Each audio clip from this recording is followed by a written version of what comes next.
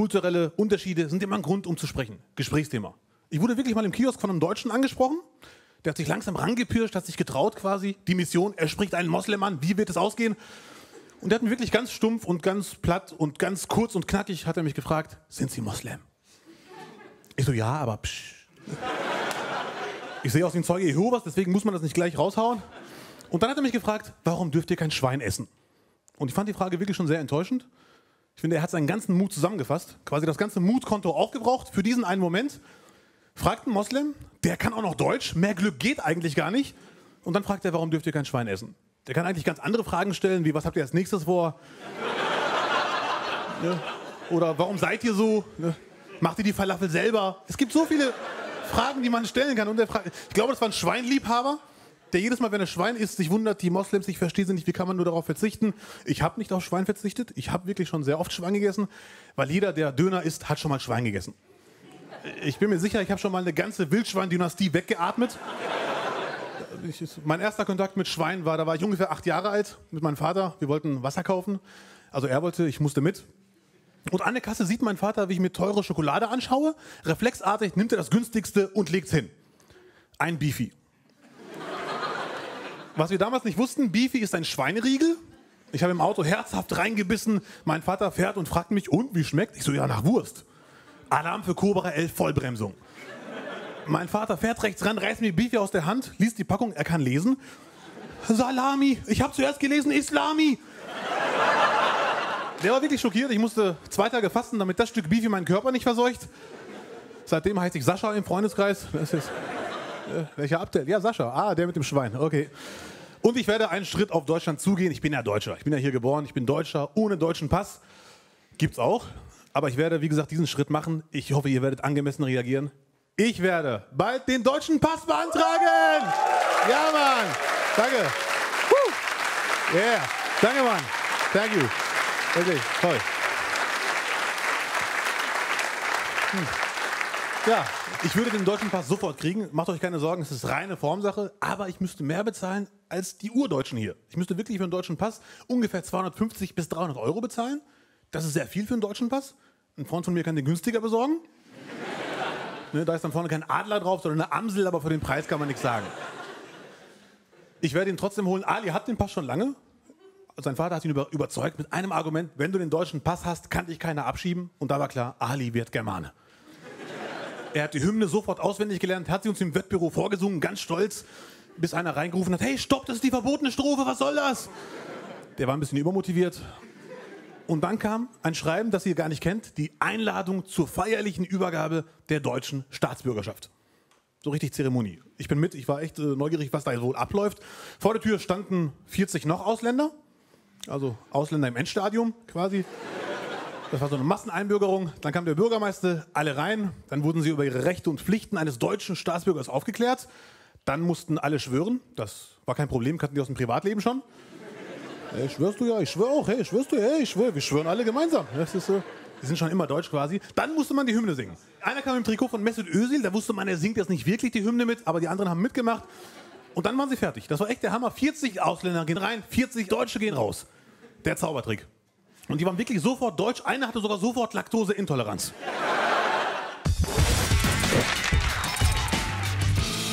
Ich habe vorhin eine Taube angezündet. Spaß. Ich habe keine Taube angezündet. Ich hatte kein Feuer. Und es ist irgendwie eine komische Situation, dafür jemand nach Feuer zu fragen. Sorry, Dicker. Hast du kurz Feuer? Dankeschön. Komm her. Komm her. Deo. Dankeschön.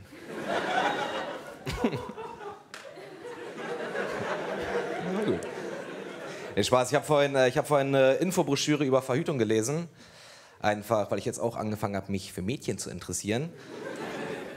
Und da ist mir was Witziges aufgefallen, zwar ist mir aufgefallen, äh, es, gibt so einen, es gibt so einen krassen Unterschied in der Ausgefaltete der Verhütungsmethoden zwischen den Geschlechtern. Also Verhütung bei Frauen ist Wissenschaft. Also es ist das Ergebnis jahrzehntelanger verkopfter Forschung. Also da wurden Nobelpreise für vergeben, so irgendwelche irgendwelche abgefahrenen Kupferspiralen, die man sich irgendwie so vaginal. Okay, vaginal klingt so derb. Ja, also irgendwelche abgefahrenen Kupferspiralen, die man sich so in die Fotze reinballert. Ich Spaß. Irgendwelche abgefahrenen Kupferspiralen, die man sich so scheidal einführt. Äh, irgendwelche, irgendwelche Monatspillen, irgendwelche Hormonspritzen, so. Das ist Wissenschaft, ja. Und äh, bei Männern hat man sich einfach so gedacht, so, ähm, ja, äh, machen wir einfach eine Tüte über den Pimmel, oder? Wer ist dafür?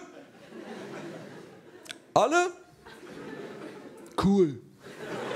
Wie wollen wir das nennen? Tütenpimmel? Pimmeltüte? Oder Kondom? Kondom ist auch kein schönes Wort. Kondom klingt nicht sexy. Die, die meisten Verhütungsmethoden haben so voll die Upturn-Namen. Also so, so Kondom, so Pille, Diaphragma. Diaphragma. Diaphragma klingt wie so ein wichtiges Teil in einer Heizung. Ja, also, wo ist denn das Diaphragma, Alter? Gut, nächster Punkt. Ähm, Thema Kampfjets.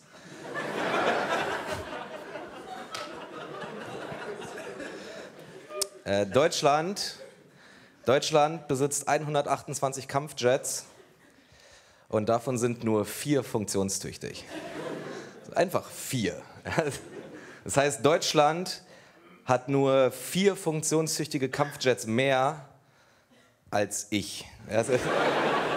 Das kommt mir wenig vor. Ja. Ich, bin, ich bin absolut kein Experte, aber ich bin mir ziemlich sicher, dass die Kampfjet-Differenz zwischen, zwischen Privatpersonen und Land größer vier sein sollte. Also, ich könnte mir jetzt zwei Kampfjets kaufen. Ja, also könnte ich wirklich, bei mir läuft. Äh, ich könnte, ich mir jetzt zwei Kampfjets kaufen und dann muss Deutschland sich Kampfjet-mäßig auf einmal so richtig mit mir auseinandersetzen. Also. Ich kann mich noch eher mit 18, 19 hatte ich mehr Sex als heute. Also ich liebe sie, aber irgendwie ist es nicht mehr so. Also der Zyklus ist mehr. Früher war das für mich so, als hätte ich so ein Maschinengewehr und 90 Magazine direkt neben mir. So. Und heute habe ich so eine alte, rostige Schlotfinte mit einem Schuss und ich weiß nicht, wo die Munition ist. So. Keine Ahnung. Auf dem Dachboden. Irgendwie.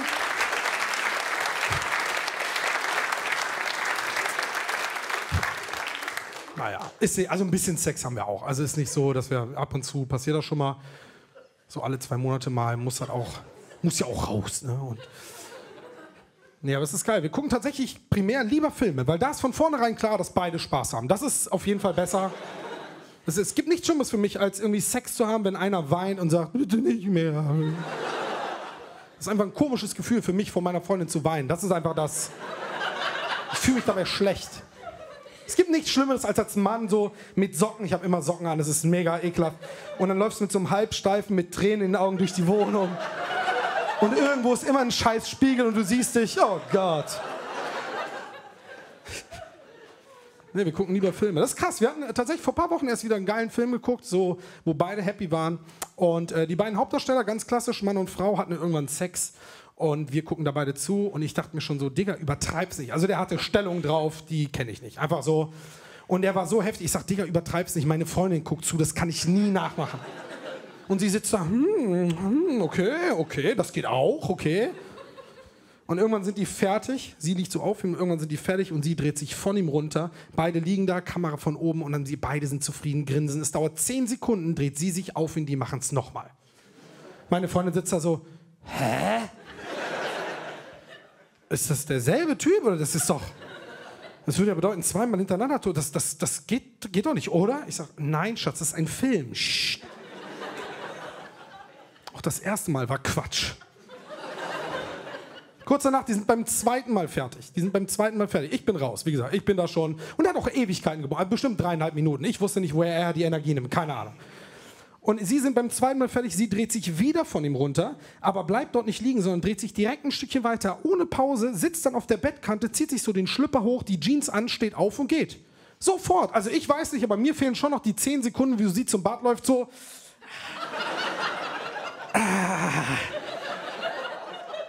Ah, fuck. Oh Gott, oh. oh. Ist das Handtuch frisch, Thomas? Ist das? Ja.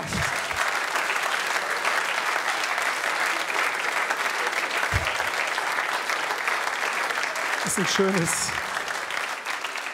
Ist ein schönes Bild. Ist wirklich ein schönes Bild. Das ist, ich liebe das Bild. Das, äh, ach so, geht übrigens auch nur für die, die jetzt gar nicht wissen, worum es geht. Erstens, es kommt noch. Ihr werdet es erleben.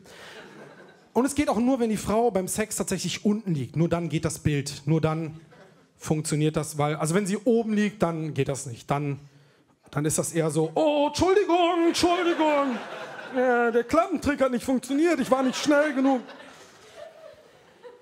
Na.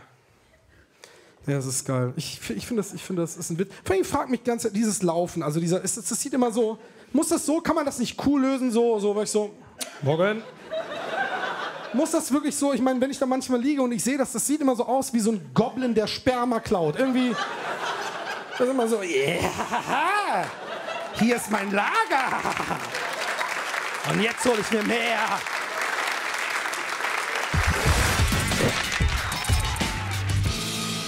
So, hier bin ich, der Augenschmaus des Abends. Ich weiß, was ihr denkt. Mein Kopf ist umgekehrt. So, ja, ich bin Engländer. Äh, viele halten mich für einen Amerikaner, aber so dick bin ich auch wieder nicht. Als Engländer verabscheue ich den Begriff Immigrant. Ich bevorzuge Kolonist. Als ich vor fünf Jahren nach Deutschland gekommen bin, hatte ich bloß 20 Euro in der Tasche und guck mich jetzt an. Die 20 Euro sind weg.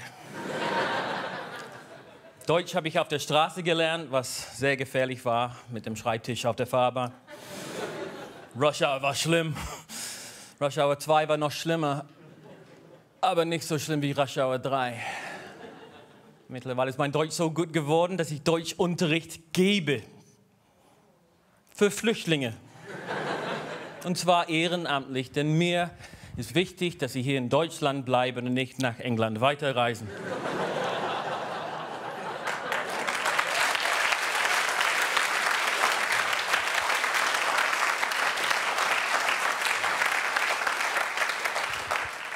Ich darf das sagen, weil ich ein Rassist bin.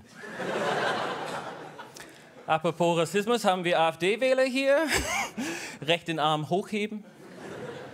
Keine Sorge, ich mache mich nicht lustig über die AfD, denn über Behinderten macht man sich nicht lustig. Die AfD gibt es seit fünf Jahren und seit fünf Jahren bin ich in Deutschland. Ich hoffe, das eine hat nichts mit dem anderen zu tun. Ich komme langsam mit dem Rechtsverkehr klar in Deutschland. Ich fahre hier wie in England auf der linken Seite, allerdings rückwärts. Ich komme gut bei der Polizei an. Ich wurde auf der Autobahn angehalten. Der Polizist sagte, na, haben wir was getrunken? Ich sagte, wir? Ich glaube nicht. Ich bin nämlich sehr anspruchsvoll, wenn es um Gesellschaft geht. Ich hätte mich lieber dumm stellen sollen, aber das wäre doch Amtsanmaßung, oder? Ich weiß nicht, was ich vom deutschen Essen halte. Ich habe dieses Zeug hier, Tee, Wurst. Eigentlich sollte man Tee trinken. Aber ihr macht eine Wurst daraus habe Teewurst probiert, ich fand es ekelhaft. Vielleicht habe ich das nicht lang genug ziehen lassen. Und dann gibt es Bierschinken. Ich glaube, Bierschinken wird nur hergestellt, um Muslime zu provozieren. Ein einziges Mal in meinem Leben habe ich Currywurst bestellt. Der Mann in der Currywurstbude sagte mit oder ohne Darm. Ich sagte, lieber mit Pommes.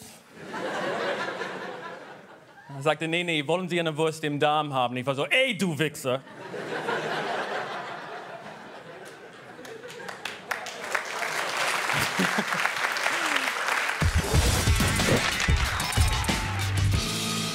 Wie heißt du, junger Mann? Roger? Natürlich. Hammer Name. Super, voll der schöne Name. Was ist das für ein Name? Woher kommt dieser Name? Aus Deutschland. Natürlich. Die beiden wollten mich verarschen. Kann das sein? Roger. Ich habe noch nie einen Deutschen gehört, der Roger heißt. Ach, als Roger. Na klar, auch deutscher Name, wusstest du nicht? Alles Roger, sagt doch jeder. Oder? Wie heißt mit Nachnamen, Roger? Schneider. Schneider, Hammer. Super, Alter. Hammer Name. Guck mal, mein Name ist Khalid. Genau, guckt er so, hä? Ja, schwieriger nach Khalid. Ich komme nirgendwo rein mit diesem Namen. Nicht mal ins Rathaus. Ich will nur meinen Pass verlängern. Nein. Und wenn ich Roger Schneider heißen würde, ich würde bekommen, was ich will. Ich gehe rein, mein Name ist Roger Schneider. Ja, natürlich, der Pass, der Stuhl, der Schreibtisch, nimm, was du willst. Aber wenn ich mit meinem vollen Namen dahin gehe, mein Name ist Khalid Bonouar, er hat Allahu Akbar gerufen. Wir sind beim Thema Medien heute. Es gibt eine Sendung, die ich sehr feiere, die gerade ihr Comeback hat. Super Toy Club. Für alle, die es nicht kennen, ich erkläre es kurz, ganz einfaches Prinzip. Bei Super Toy Club, das war eine Sendung, da haben vier Kinder gegen andere vier Kinder ein paar Spiele gespielt. Die, die gewinnen, dürfen am Ende ins Toys Us und sich zwei Minuten lang nehmen, was die wollen. Super Sendung. Ich habe es immer als Kind geguckt. Super Sendung. Ich wollte immer da mitmachen. Immer wollte ich da mitmachen. Das Problem ist, du brauchst drei Freunde. Ich hatte keine drei Freunde. Und die Jungs, die ich kannte, das waren alles gebürtige Deutsche aus gutem Elternhaus. So Roger ne, und Gerion. Und immer wenn ich die gefragt habe, hey, komm, wir gehen zu Super Toy Club, dann dürfen wir ins Toys R uns nehmen, was wir wollen, haben die immer geantwortet, na und, das kann ich auch so. Also wir sind reich, Khalid. Also musste ich meine Ausländerjungs fragen, die aus den Hochhäusern. Da habe ich die gefragt. Alle haben zugesagt. Das Problem ist, alle waren über 18. Also mussten Ausweise gefälscht werden und Bärte abrasiert. Wir kommen bei der Sendung an, der Moderator schockiert. Auf der einen Seite vier zehnjährige blonde deutsche Jungs, auf der anderen Seite vier ausgewachsene Kanacken mit Bart und Zigarette im Mund. Und er fragt auch noch einen von uns so: Bist du dir sicher, dass du erst elf Jahre alt bist? Ja, ja, Wallah, ja, das Problem damit. Bei uns hast du Bartwuchs schon mit fünf, mein Freund. Natürlich haben wir gewonnen. Wir dürfen ins Toys R Us uns nehmen, was wir wollen. Wir stehen an der Startlinie. Bei drei geht's los. Eins, bist du bereit? Ja, Wallah, ja. Zwei, einer holt Messer raus, keiner weiß warum. Drei, wir rennen los, alle schubsen sich gegenseitig weg. Verpiss dich, das sind meine Playstations. Ey, das sind zehn Stück, ich hab neun Geschwister. Man hört einen afghanischen Vater im Hintergrund. Ah, hol mal Rasierer! Die Mutter auch. Ja, hol mal Rasierer! Einer packt mittendrin sein Handy aus. Bruder, komm mal Hinterausgang mit Transporter. Ich habe nur eine Minute 30. Das Spiel ist vorbei und man gelangt an einen Tresor. Und der Moderator erklärt das Spiel mit dem Tresor. So, Kinder, hier befindet sich ein Tresor. Ihr benötigt vier Karten, um diesen Tresor zu öffnen. Ihr habt 30 Sekunden Zeit, diese vier Karten aus diesem Becken voller Bälle zu fischen. Kommt zurück, der Tresor öffnet sich auf magische Weise und jeder von euch bekommt noch ein Fahrrad und eine Playstation. Ist das nicht toll? Der Typ noch nicht mal zu Ende geredet, einer von uns schon am Tresor. Jalla Jungs, lass mal reingehen. Ich so, ey Bruder, wie hast du das aufgemacht? Bruder, McFit-Karte macht alles auf.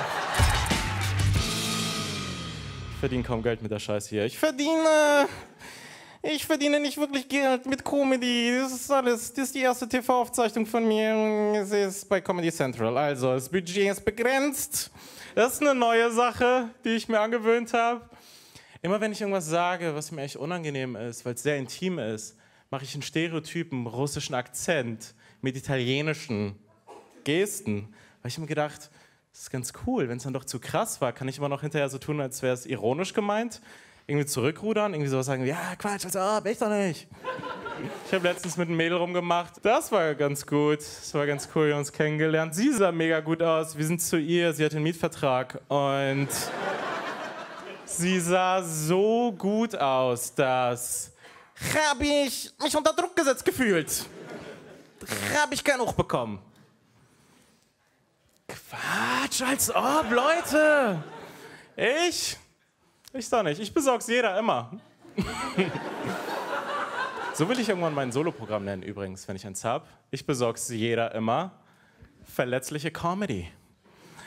Es wäre ganz geil, wenn es einen Comedian gäbe, der so denkt, er macht sich super verletzlich auf der Bühne, der sich so einredet, er gibt sich voll die Blöße, dann wird er so angesagt von Maxi, kommt hier rauf und ist dann so, hey Leute, zuallererst, ganz ehrlich, äh, ich fick die Fotzen weg. Ähm, ganz ehrlich, Leute, mein Schwanz ist so groß, er verletzt Gefühle.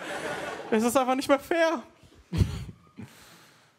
Ich glaube, Körpersprache ist dann echt wichtig bei so einer Aussage, dass man sich irgendwie was überlegt oder so, dass man so, so ja, ich fick die Fotzen weg. Also, dass man sich ein bisschen reindreht in die Aussage.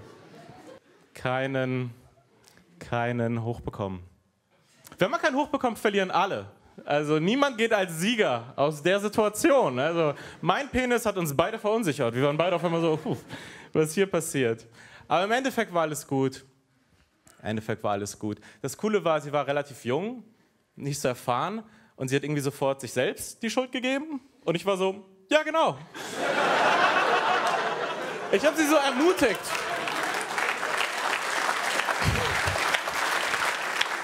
Ich habe so, ich hab, ich hab so zugeredet. Ich war so, ich mag, wie du denkst. Äh, du bist selbstkritisch. Fragst dich, was du besser machen kannst. Das Ganze hat uns irgendwie näher zusammengebracht. Wir waren in dem Moment irgendwie so ein Team. So, wir haben es gemeinsam auf sie geschoben. Das war, das war Teamwork. Sie war da so, hm, habe ich, hab ich irgendwas falsch gemacht? Ist irgendwas? Ich so, ja. Sollen das Titten sein? Ich meine, komm schon. Streng dich an. Bin ein richtiger Mann. oh Mann, ich mag die Stelle, weil ich verliere immer so ein paar Leute aus dem Publikum. Äh, aber es ist ganz witzig. Es ist nicht passiert, das ist eine Comedy-Show. Es ist nicht passiert, das habe ich erfunden. Also, ich habe auf jeden Fall kein Hoch bekommen. Das ist wahr, aber ich habe anders reagiert. Aber es wäre schon irgendwie ganz cool, wenn jemand so reagieren würde. Du kriegst keinen Hoch, wirst zum völligen Soziopathen plötzlich. Komplettes Arschloch. Bist so, ja, also ich funktioniere. Also ich, ich weiß nicht, was dein Problem ist. Ich funktioniere. Das ist mir noch nie passiert. Und dann kommst du so mit so richtig schlechten Ausreden, bist so, ja, also, äh, das Fenster stand auf Kipp und. Sag mal, woraus ist denn hier die Bettwäsche? Ist das Polyester?